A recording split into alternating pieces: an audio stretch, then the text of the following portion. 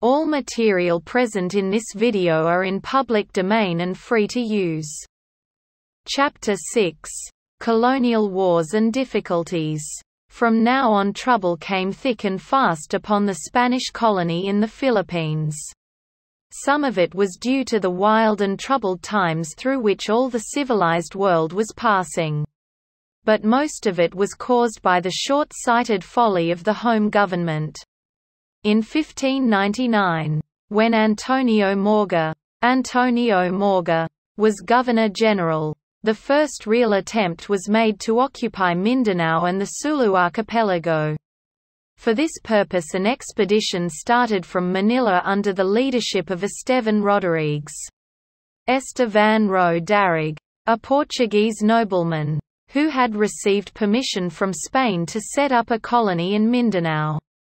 He was to be governor of that island. And, from his headquarters there, was to try to conquer the Moros of Sulu, who had never submitted to Spain's rule. This expedition was a sad mistake, and failed from the beginning. The Mindanao Mohammedans resisted all efforts of the Spanish to land, and Rodrigues lost his life in the very first battle. His body was taken to Manila for burial. Several other expeditions were sent out from time to time to punish the Moros and force a settlement upon the island. But none of them succeeded. The efforts of the Spanish only aroused the anger and hatred of these people. For 250 years after that Moro pirates harried the shores of all the islands where the Spanish dwelt. They killed and robbed both Europeans and Filipinos. They burned towns and villages. And carried off the people to be their slaves. For fear of them the coasts were deserted. No one dared live near the sea. Fishermen dared not follow their calling. Nor farmers till their fields. Traders dared not come to the island ports to buy or to sell. And the coastwise trade of the country was all but ruined. While the Spanish were busy trying to gain a foothold in the south. There came to Manila two visitors who were the innocent cause of still more trouble in the country. These were two high mandarins of China, who reached the city in the year 1603.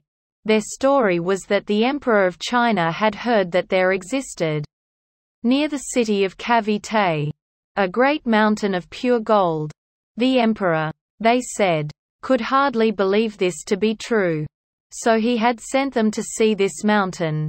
That they might come back and tell him about it. At that time Bravo de Acuna, Bravo dar Acuna, was Governor-General. He received the mandarins politely. And sent them with an escort to Cavite. To see for themselves that no such mountain was there. The visitors were royally entertained during their stay in Manila and at last went home with their report to their emperor. This visit caused a great fright in Manila. For the Spanish at once suspected that there was a plot behind it for the Chinese to seize the city. They believed, or pretended to believe, that the mandarins had come merely to spy out the land and prepare the way. At once the city was made ready against invasion. The garrisons were increased. New ones were formed. And every Spaniard armed himself. The Filipinos were much excited over the stories told of coming trouble. While the Chinese, suspected and insulted by all, could not but understand that some danger threatened them. At last the Chinese, wild with fear, took matters into their own hands. They began to fortify places outside the city, and one evening opened the battle by firing upon some Filipinos inside the city walls. They followed up this act by crossing the river and making a savage attack on Binondo.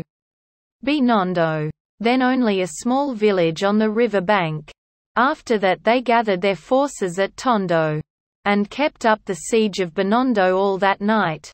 Next morning a strong force of Spanish marched out against them. This force was led by Luis Perez Dasmarinas.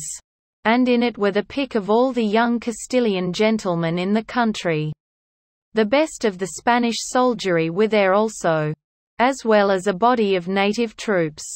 These troops were Pampangans, who were then the best trained of the Filipino soldiers. On the other hand were thousands of frightened Chinese, ready to fight to the death. And there was awful work in the streets of Binondo that day. Neither side gave or got any quarter.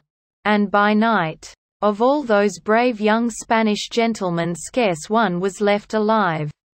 But at last the Chinese gave way. They had neither weapons to carry on war, nor food to help them withstand a siege.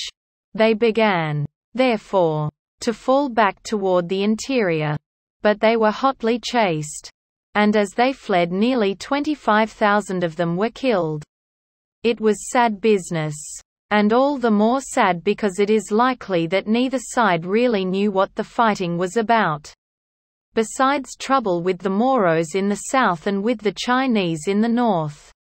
The colony had much to bear from Spain's old-time foe, the Dutch. At this time there were really very few Spanish in the islands. There had been less than a thousand when the battle with the Chinese was fought. Many were killed on that fatal day. So that in the new trouble the Spaniards would have fared ill. Had it not been that the army of the colony now numbered many Filipino soldiers in its ranks. From the end of the 16th century down to the year 1763. There was war between Spain and the Dutch. And this war caused much hardship in the islands. It was Spain's short-sighted method in dealing with her colonies to restrict their trade whenever it was likely to interfere with that of her home merchants. So harsh were the measures by which she held in check the trade of her colonies that she kept all her dependencies poor, so that in the end the mother country lost more than she gained. At this time the Philippine merchants were allowed to trade only with Mexico. Once a year, usually in July, a state galleon left Manila carrying goods to that country. The goods were sold in Mexico. And the money and other goods were sent back by galleon to Manila. The galleons also carried the mail and great sums of money which Mexico sent over to meet the expenses of the island government. They were always rich prizes. And Spain's enemies knew this all too well. They would lie in wait for them. To capture and despoil them. The Dutch ships, in particular, often did this. From first to last they captured a good many of the royal galleons. Every capture meant calamity to the islands. It meant for Manila merchants the loss of a whole year's business. To the state and to the church it meant loss of income, of salaries, and of money to carry on all public work. To the natives it meant harder and longer tasks, deeper poverty, heavier burdens which they must endure in raising the extra tribute, and heavier taxes by which the loss was made good. For a hundred and fifty years there was fighting over the royal galleons. At one time, when Spain and England were at war. There were six years during which no galleon reached Manila. The country was in such sore straits that even the Chinese revolted. And the Spanish were nearly starved. Spain, however, seemed to learn no lesson from these experiences. She went on as of old, sending one galleon a year, richly laden, at the mercy of the enemy putting all her eggs into one basket, as the saying is. And when the one basket came to mishap all was lost besides keeping a lookout for the galleons. The Dutch ships were wont to lie in wait outside Manila harbor to catch Chinese and Japanese trading junks coming into port. In this way they often captured rich prizes and made still greater drain upon the islands it was necessary for the colony to raise large sums of money and many bodies of fighting men to go against these ships in order to protect the harbour from them.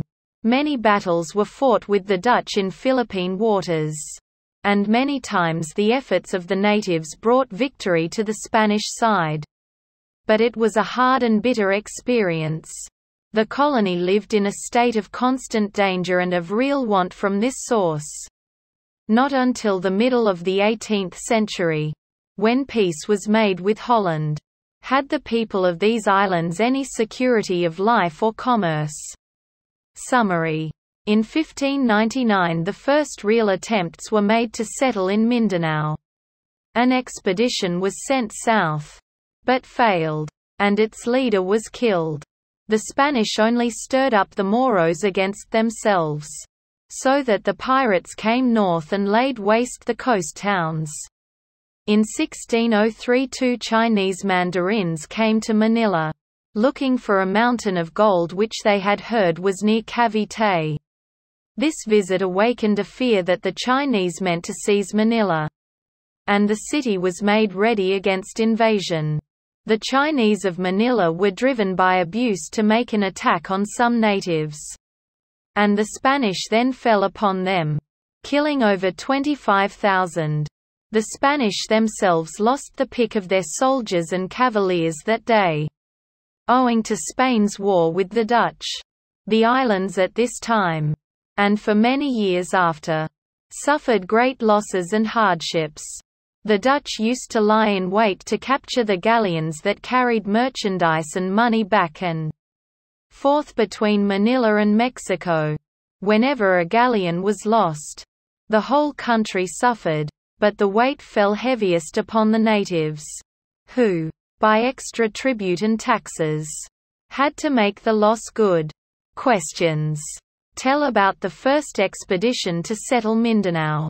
What did the Moros do to avenge what they deemed Spanish invasion? Give an account of the battle against the Chinese. What led up to this battle? How was trade carried on between the islands and Mexico? What was the result of the capture of a galleon by Spain's enemies?